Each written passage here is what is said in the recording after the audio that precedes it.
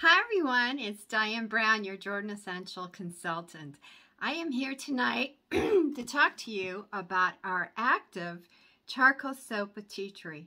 This is a really amazing charcoal soap that comes in this plastic container. You can travel with it, pop it right out, and you have it and it detoxes your skin. It works great for when you wash under your armpits to get all those chemicals out. When you switch over to a natural deodorant like what we have. But you most of all, I wanted to show you something. This charcoal soap is so good that you see this Sharpie pen? This, you know, is, yeah, the kind that doesn't come off.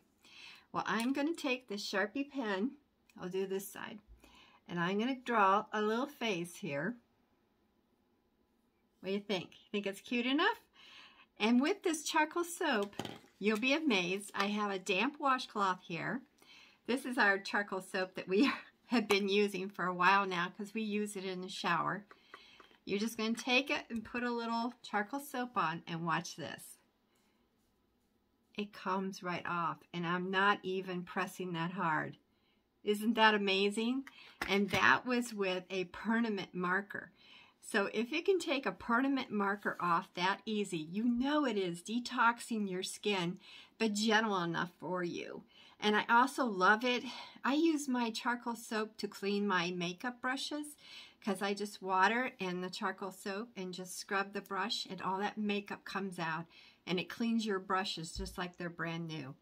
I've used the charcoal soap when my dog got into a skunk ordeal and it was able to take that couple washings and we got that odor from the skunk right out. And then it works great when you have really bad odors on the bottom of your feet. So there's many uses for the charcoal soap. And if you have acne of any kind, I don't care how old you are, it pulls right out. And then I also learned that the charcoal soap works great with your brown spots.